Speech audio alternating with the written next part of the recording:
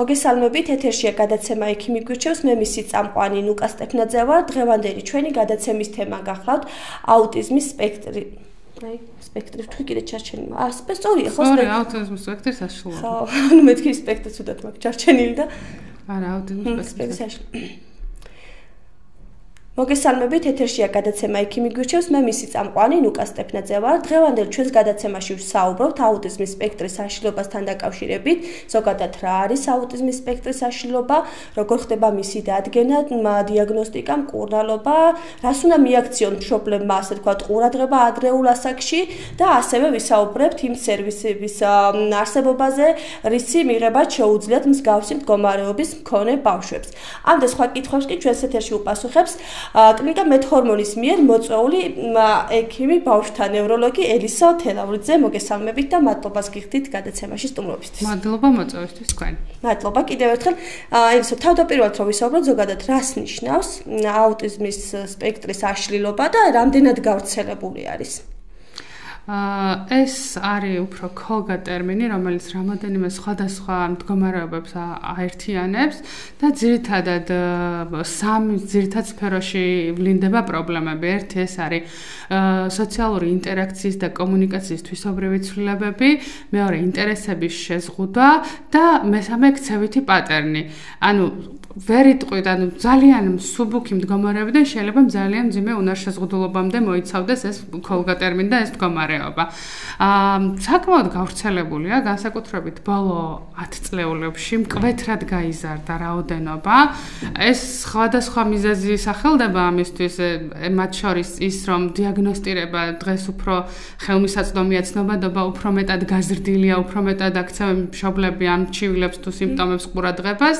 მეორე საკითხი არის გლობალიზაცია და ინტერნეტიზაცია და გაჯეტებზე და ეკრან დამოკიდებულება და განსაკუთრებით ითვლება რომ მოიმატა ბოლო პერიოდში რომელიც დაკავშირებული იყო პანდემიასთან, ჩაკეტილობასთან და ისედაც თქვა სოციალური ინტერაქციის შეზღუდვას, კიდე ზემოდან ეს კომუნიკაციის შეზღუდვას თვითონ დამახასიათებელს ამ მდგომარეობისთვის და ერთო ხელოვნური ბარიერები და კომუნიკაციის დეფიციტი. გასაგებია. სხვათა შორის უფრო მეტად გავრცელებულია ბიჭებში, ხუთჯერ მეტად ვიდრე გოგონებში. თუმცა ორივე სქესში გვხდება. ასაკობრივია გამოვლინება როდიდან იწყება ძირითადად? როგორც წესი, უფრო მეტად 18-36 თვის პერიოდში ხდება თვალშისაცემი უფრო, შეიძლება უფრო ადრეც დაიწყოს, თქვა 9 თვის ასაკშიც, არ ღუღუნებდეს, თქვა ემოციებს არ გიზიარებდეს, მაგრამ უფრო ძირითადი, თქვა ამ ჩივილებზე ყურადღების გამახვილება და დადგენა ამ მდგომარეობის 18-დან 36 თვემდე ხდება. აი გარდა ამისა, ძირითადი ნიშნები რა არის, რასაც ვთქვათ, დამახასიათებელი რა ნიშნები აქვს და როდის უნდა მიმართოს, ვთქვათ, ასე ვთქვათ, მშობელმა ექიმს უკვე. და ამ შემთხვევაში აი პირველად რომელი ექიმი იგულისხმება, ვისთანაც უნდა მიიყვანოს ბავშვი. იცით როგორ არის, ანუ როგორც თქვით, საკმაოდ ადრეულ ასაკში შეიძლება დაიწყოს ჩივილები. როგორც წესი ხოლმე, თავიდან შეიძლება არ მიაქციონ მშობლებმა ყურადღება და უფრო მეტად მომართვის მიზეზი არის ხოლმე მეტყველების და კომუნიკაციის შეფერხება,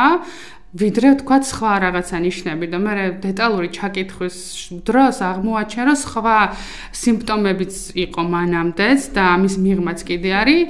თუმცა უფრო მეტად მშობლებისთვის შესამჩნევი ხდება მაშინ აი დაახლოებით 2 წლის ასაკში რომ ბავშვი თქვა მიზანმიმართულად უკვე აქტიურად უნდა მეტყველებდეს ითხოვდეს სასურველს ვერბალურად მაგრამ არ ლაპარაკობს და ძირთადი ჩივილი ხოლმე მომართვის ეს არის.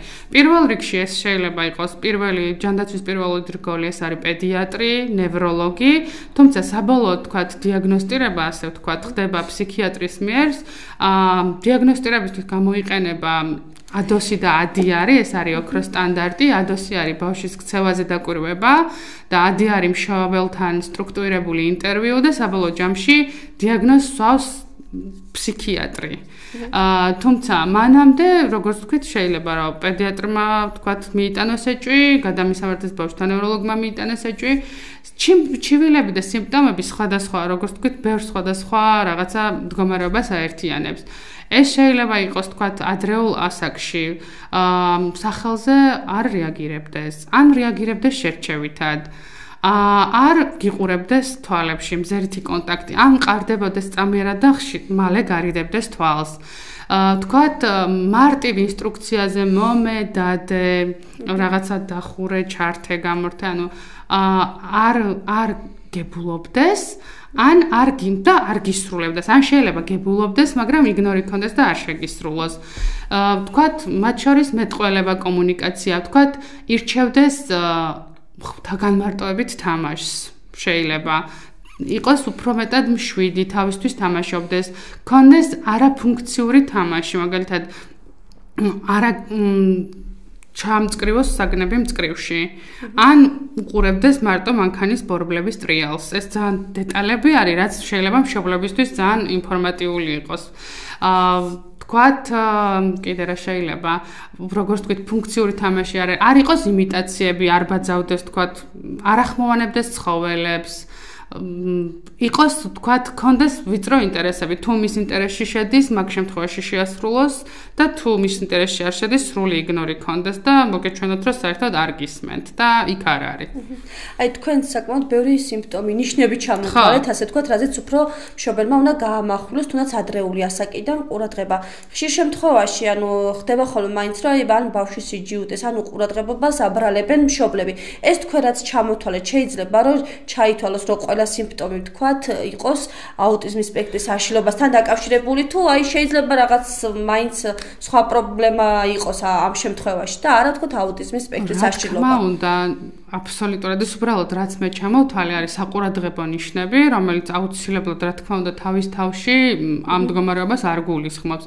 უბრალოდ მნიშვნელოვანია რომ დროულად მოხდეს შობლის მიერ მსგავსი რაღაცა სიმპტომების არსებობის დაფიქსირება რათა დროულად მიმართონ სპეციალისტს, რათა შეფასდეს დროულად, რადგან ადრე დაწყებული ინტერვენცია და ვთქვათ ჩარევა ბევრად აუმჯობესებს გამოსავალს და ამიტომ არის ძალიან მნიშვნელოვანი ჯობია არა ვთქვათ მიიყვანო სპეციალისტთან და არ აღმოჩნდეს თქვათ საეჭო ნიშანი და თქვათ არ დაჭirdეს ინტერვენცია, ვიდრე ეს ოქროს პერიოდი დაიკარგოს.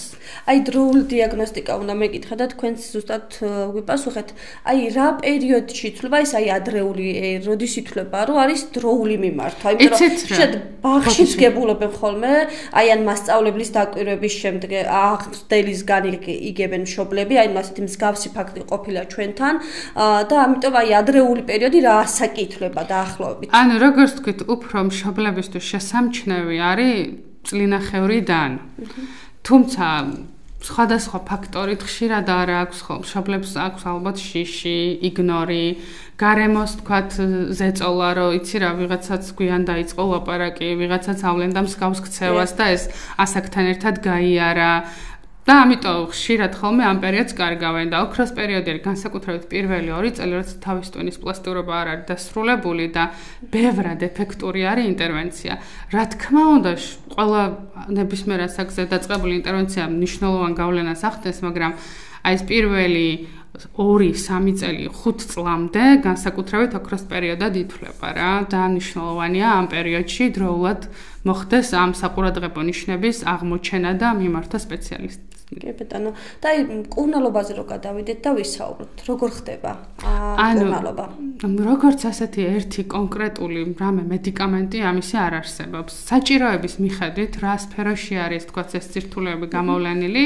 არსებობს სხვადასხვა თერაპიები, მათ შორის ქცევითი თერაპია, ქცევით თერაპიაში არსებობს ABA მეთოდი, დენვერის მეთოდი სხვადასხვა, მაგრამ ანუ ქცევით თერაპია, საჭიროების მიხედვით მეტყოლების თერაპია, სენსორული თერაპია, ანუ რეაბილიტაციური მკურნალობა არის რეალურად, ხო? ანუ ეს თერაპიები არის, რომელიც დასწავლით ასწავლის ამ ბავშვებს და შესაბამისი საჭიროების მიხედვით შეფასების დროს ვიღაცასთან თქვა სენსორული დეზინტეგრაციის ნიშნები არის უფრო მეტად გამოვლენი მათთან სენსორული თერაპია ინიშნება საჭიროების მიხედვით ამას უკვე სპეციალისტი აკეთებს დიფერენცირებას და წამყვანი მაინც ქცევით თერაპია არის კი ბეტონო. აი სერვისებზე რომ ვისაუბროთ, იმიტომ რომ ზოგჯერ მშობლები ამბობენ, რომ ან ხელმისაწვდომი არ არიან ზოგადად ქვეყნის მასშტაბით რა სერვისები არსებობს მსგავსი დიაგნოზის მქონე ბავშვებისთვის და ასევე ჩვენს რეგიონშიც თუ არის ხელმისაწვდომი, რაც თქვენთვის ცნობილი არის ამ შემთხვევაში. საბედნიეროდ დღეისათვის სახელმწიფო საკმაოდ კარგად უზრუნველყოფს ამ სერვისებს. აა მათ შორის თქვენს რეგიონშიც უშუალოდ ხა სპექტრის ცალკე აუტიზმის რაღაცა ეგეთი პროგრამა არ არსებობს, მაგრამ არსებობს ადრეული განვითარების პროგრამა, რომელიც 7 წლამდე არის პაციენტებისთვის და სრულად უფასო არის საჭიროების შემთხვევაში დიაგნოზებიდან გამომდინარე, ასევე არსებობს რეაბილიტაცია აბილიტაციის პროგრამა, რომელიც თქვათ 3 წლამდე შეიძლება ჯერ არ იყოს დიაგნოსტირებული რაიმე კონკრეტული დაავადება, მაგრამ პაციენტის თქვათ განვითარება არ მიყვებოდეს ასაკს და ჩაითვალოს, რომ ჯობია დავიწყოთ დროული ინტერვენცია და ინტერვენციების პარალელურად მოხდეს მერე დიფერენცირება სიმპტომებიდან გამომდინარე რა დიაგნოზი დაესმება. ამიტომ დროის დაკარგვა არაფრით არ შეიძლება და მათ შორის როგორც ვიცით თქვენს რეგიონშიც არის სერვისი როგორც რეაბილიტაცია აბილიტაციის ისე ადრეული განვითარების პროგრამის. დედაქალაქში თბილისში ცალკე მერის აუტიზმის პროგრამაც არსებობს რომელიც საკმაოდ ყოვლის მომცველი არის და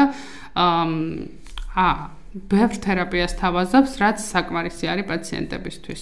კი ბეტონო და მინდა კითხოთ კიდევ მსგავსი დიაგნოზის მქონე პაციენტებისთვის აი რა არის გამოსავალი იცით რა, ესე ცალსახა პასუხი არ არსებობს, რა თქმა უნდა, რაც უფრო, მაგრამ პირდაპირ არის ესე, რომ რაც უფრო ადრე იწყებ ინტერვენციას, რაც უფრო მეტად ჩართული არის ოჯახი, მშობელი, თერაპევტთან ერთად, რა თქმა უნდა, წამყვანი მაინც არის მშობელი და ოჯახი, იმიტომ რომ პირდაპირ აისახება გამოსავალზე. ადრე და მიტანილი ეჭვი, ადრე დაწყებული ინტერვენცია და ოჯახის ჩართულობა უზრუნველყოფს უკეთეს გამოსავალს. ეს დამოკიდებულია ალბათ ხარისხზე, რა სიმპტომები არის, რა სფეროებში გვაქვს სირთულეები, თუმცა ზუსტად კონკრეტულად ეს პაციენტის მდგომარეობის მიხედვით განისაზღვრება და ესე პროგნოზი არ არსებობს, მაგრამ რა თქმა უნდა, რაც უფრო ადრე იწყებ, გამოსავალი უკეთესია, მეტი შანსი არის მათ კონდეს ცხოვრების დამოუკიდებელი ხარისხი, ისწავლონ უნივერსიტეტში, თქვათ იყონ დამოუკიდებლად იმუშაონ, კონდეთ თავის შემოსავალი და ასე შემდეგ. რა თქმა უნდა, ეს გარკვეულ პროცენტში ყველასთან ერთნაირად არ ხდება, მაგრამ კიდევ ერთხელ ოჯახის ჩართულობა, ადრეული დიაგნოსტირება და ადრე დაწყებული ინტერვენციები პირდაპირ აისახება უკეთეს გამოსავალზე.